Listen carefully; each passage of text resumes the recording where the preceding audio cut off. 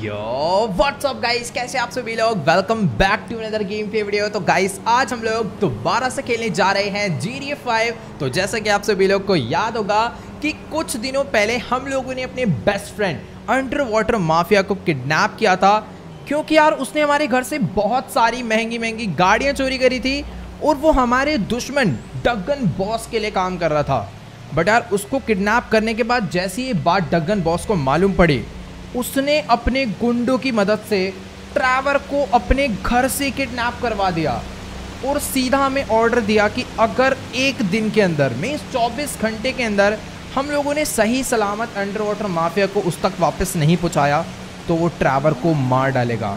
अब यार देखो, ये सब सीन के बाद ना ट्रैवर को बचाना बहुत ज़्यादा इम्पोर्टेंट था, क्योंकि यार वो अपना बहुत अच्छा दोस्त है हमेशा बुरे टाइम में काम आता है। बट यार, ये काम ना बहुत ज़्यादा मुश्किल था। एक बार को मान लो कि ट्रैवर को बचाने के लिए हम लोग अंडर वाटर माफिया को लेकर डगन बॉस के पास जाते तो क्या गारंटी थी कि वो ट्रैवर को सही सलामत छोड़ देता?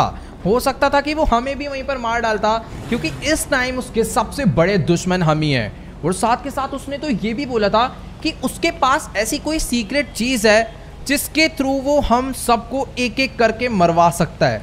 अब ये सुनने के बाद मैं बहुत ज़्यादा डर गया था बट इस सिचुएशन में एक ही बंदा याद आया, और वो था लेस्टर बट यार, आप लोग को तो मालूम ही होगा कि लेस्टर की हालत पिछले एक मंथ से बिल्कुल भी ठीक नहीं चल रही थी, और उसको ठीक करने का सिर्फ़ और सिर्फ़ एक ही तरीका था, और वो था ह्यूमेन लैब क्योंकि वहाँ पर एक ऐसा इंजेक्शन था जिसको लगाने के बाद लेस्टर को तुरंत ठीक किया जा सकता था। तो उसी को चुराने के लिए हम लोगों ने वहाँ पर चुपचाप से एंट्री मारी, और वहाँ के सभी गार्ड्स को मार के वो इंजेक्शन चुरा लिया और जैसे हमने उसे लाके लेस्टर को लगाया लेस्टर को एक से दो घंटे के अंदर ही होश आ गया और लकीली लेस्टर को डगन बोस के उस प्लान के बारे में भी मालूम पड़ गया, जिसके थ्रू वो हमें धमकी दे रहा था कि वो हमें एक एक करके मरवा देगा, हमारा एनकाउंटर करवा देगा। तो उसका प्लान ये था कि हमने आज तक जितने भी क्राइम करे थे ना, उन सभी की उसने एक रिपोर्ट फ़ाइल बना के एफ़ आई बी को दे दी थी, ताकि वो हमें ढूंढे, उसके बिहाफ पे हमें एक एक करके मार दें।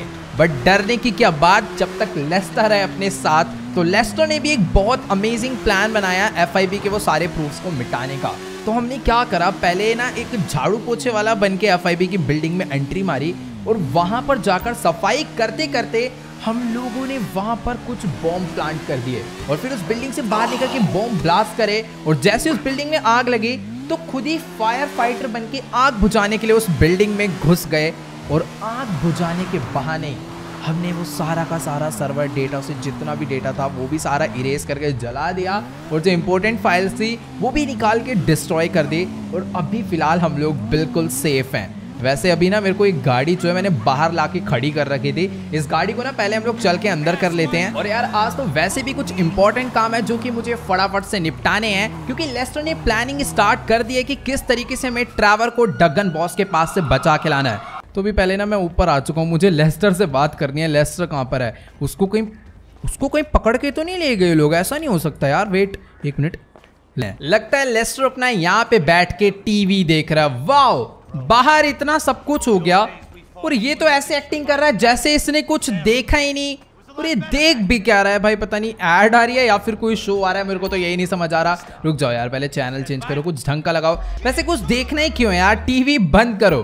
अभी मुझे इससे यहाँ पर बैठ के बात करनी आखिर ये सब क्या था? ओके तो अभी ना मेरी फ़िलहाल लेस्टर से बात हो चुकी है। और गाइस इसको पहले से ही मालूम था कि आज यहाँ पे एफ़ भी आने वाली है, क्योंकि इन भाई साहब जी ने जान मूझ के खुद से ही उन्हें यहाँ पे बुलाया था।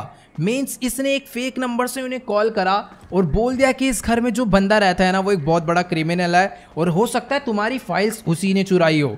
क्योंकि एफआईबी को हमारे ऊपर पहले से ही शक था और इसकी बात के बाद वो हमारे ऊपर मीन्स हमारे घर में ढूंढा डांडी करने के लिए आए और जब ढूंढा डांडी करने पे उन्हें कुछ ना मिले तो उनका शक हमारे ऊपर से ख़त्म हो जाए। जो कि हुआ, वो लोग यहाँ पर आए, फिर चुपचाप से बेचारे यहाँ पर चले गए। भाई साहब लेस्टर क्या ही दिमाग लगाते रहता है? लेकिन यार, ये बात इससे हमें पहले ही बतानी चाहिए थी। बाय चांस अगर मेरे पास कोई गन वगैरह रहती, मैं तो ठोक देता यार एफ़ वाले बंदों को। बट ठीक है यार, मेरे पास सही है गन्स वगैरह नहीं थी और मैंने उन्हें कुछ कहा भी नहीं, वरना तो यार लेने के देने पड़ जाते। और जैसी लेस्टर ठीक हुआ, उसके बाद हम लोग सीधा यहीं पर आ गए थे अपनी गाड़ी वाड़ी लेकर।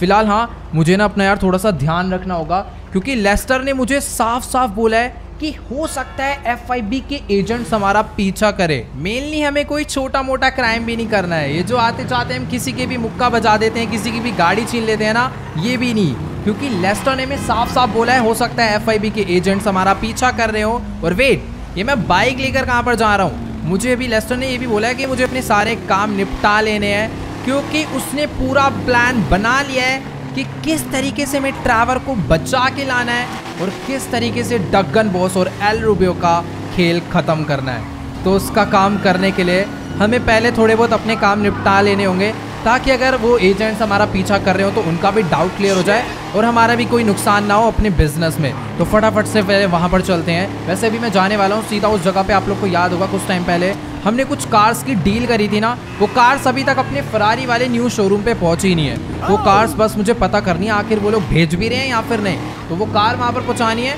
फिर उसके बाद सीधा ट्रैवर को बचाने के मिशन में जुट जाना है सही से। क्योंकि भाई ट्रैवल इस टाइम पर सबसे ज़्यादा इंपॉर्टेंट है। फ़िलहाल अभी अपना काम हो चुका है। अब मैं जल्दी से लेस्टर को फ़ोन करता हूँ और उसको बताते हैं कि आखिरकार ट्रैवर को बचाने के लिए हमें क्या क्या करना होगा। मीन्स अभी हम लोग पूरा फोकस करने वाले हैं। ट्रैवर के रेस्क्यू मिशन पे। ओके गाइस तो अभी ना मेरी फ़िलहाल लेस्टर से कॉल पे बात हो चुकी है।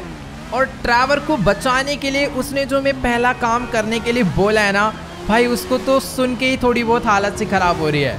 अब यार देखो, इस टाइम ना अपने लिए सबसे ज़्यादा इंपॉर्टेंट है कुछ वेपन्स क्योंकि अपने पास कोई भी गन नहीं है, सिंपल से भी गन नहीं है। मतलब कुछ पिस्टल्स हैं, जिसमें भी पूरी एमो नहीं है। और सीन कुछ ऐसा है कि डगन बॉस ने ना लॉस सैंटोस का पूरे के पूरे सैन की जितनी भी एम्यूनेशन शॉप थी, वो सारी बंद करवा दी और उसके अंदर के जितने भी वेपन्स थे ना, वो सारे के सारे खुद अपने पास मंगवा लिए हैं। क्योंकि इसको मालूम है कि हमें वेपन्स यहीं से मिलते थे। और अगर हमें वेपन ही नहीं मिलेंगे तो डगन बॉस को सारा मतलब सारा खतरा ही उसका ख़त्म हो जाएगा। तो सबसे पहले हमें वेपन्स का जुगाड़ करना है और वेपन्स हमें मिलने वाले हैं मिलिट्री बेस में। तो लेस्टर ने मुझे बोला करेक्ट साढ़े तीन बजे, जो सैनड्रियास वाला ब्रिज है ना, उसके नीचे से एक मिलिट्री का ट्रक जाएगा।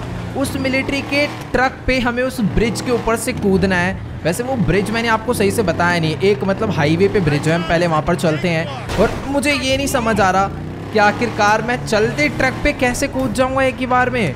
मुझे कुछ ऐसा करना होगा कि बस वो ट्रक रुके, मैं उस ट्रक के अंदर कूदूँ, फिर हम लोग उसमें बैठ के मिलिट्री बेस जाएँगे और वहाँ से चुपचाप से वेपन चुरा के हम निकल लेंगे।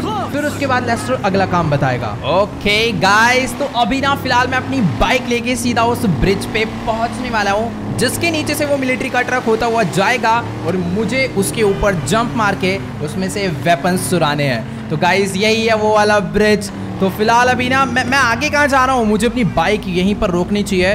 और कोई ऐसा तरीका मुझे ढूंढना है कि जब मिलिट्री का ट्रक यहाँ पर आए तो मैं उसे किसी तरीके से रोक दूँ और उसे मेरे ऊपर शक भी ना हो कि ट्रक किसी ने जान के रुकवाया है। तो मेरे हिसाब से सबसे बेस्ट तरीका यही रहेगा कि हम लोग यहाँ पर उस टाइम पे ट्रैफ़िक जैम लगा दे। अपने पास वेपन्स आ गए हैं, इससे ज़्यादा बढ़िया कुछ नहीं हो सकता। अभी मुझे ना जल्दी से जल्दी यहाँ से कोई गाड़ी उठानी है और फटाफट से ना निकलना चाहिए मुझे सीधा लेस्टर के पास। वैसे उसके पास जाना नहीं है, मुझे पहले उसे कॉल करके बता देना चाहिए कि अपना प्रॉपर काम हो चुका है। वेपन्स अपने पास आ गए हैं। अब हमें आगे क्या करना होगा लेस्टर को बचाने के लिए वो बता।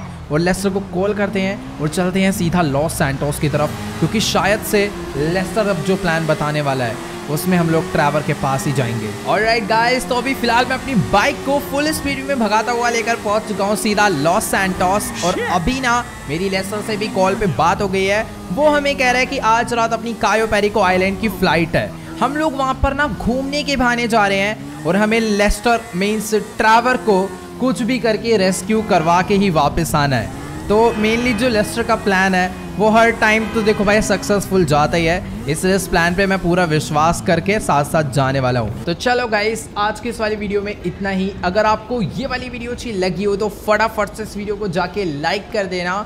इस वीडियो पर एम करते हैं 1.5 मिलियन लाइक के लिए। तो सभी लोग जाओ जल्दी से लाइक का बटन दबा के गोल कंप्लीट कर दो और जो भी चैनल पे नहीं हुआ है, चैनल को सब्सक्राइब करना बिल्कुल मत भूलना।